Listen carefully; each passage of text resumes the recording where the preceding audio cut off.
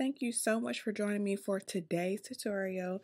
It is going to be a quick tip to help you save time and create multiple posts for multiple platforms. So let's get started. So the first thing you want to do, of course, is log into Canva. Then click on social media. Then we want to go down to quick create. And then right here, you want to select the platforms that you want to use your post on.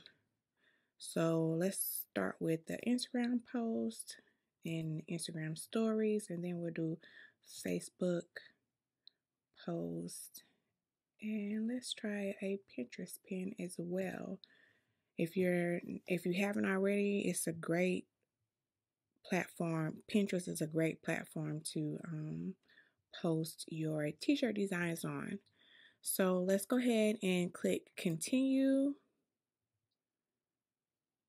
And then all of these options right here pop up.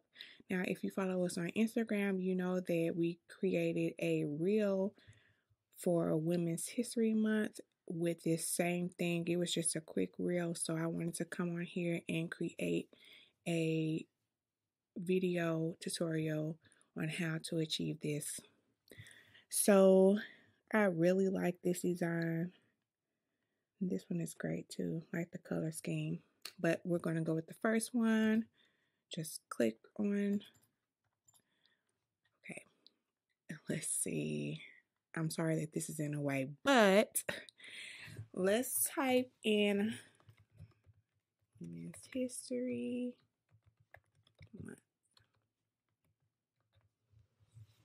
All right.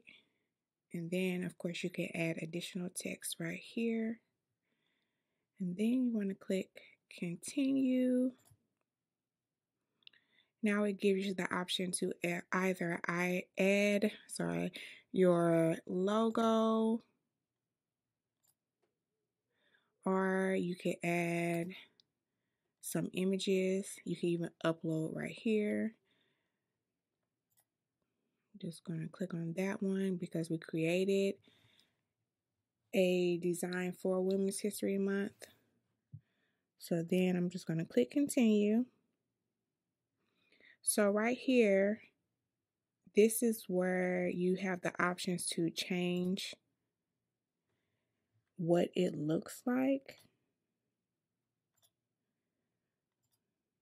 So yeah, you could go through those and choose accordingly then click continue. And this is my favorite part right here because you can either use your brand colors that you have already entered. Um, if you click on the brand kit you can add in your brand colors.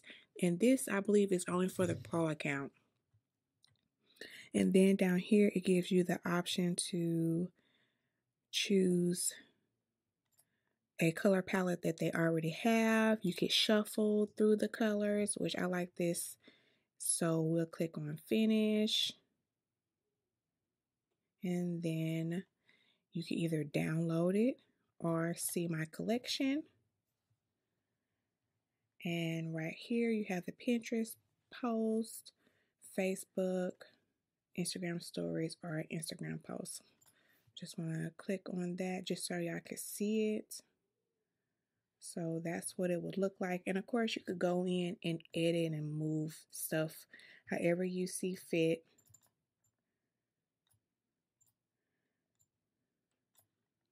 Make it, you know, fit into your vision. But the idea is for you to save time when you are creating posts because uh, of course when you are when you have a business you want to be on multiple platforms um, so this allows you to create posts all at one time, which is great. I mean, the next thing maybe they'll add um TikTok to that list of options. Anywho, I hope this helps and good luck in your business and be sure to leave us a comment, like, comment, subscribe, and follow us on Instagram. Our Instagram name is Double Dutch DS. Thank you so much.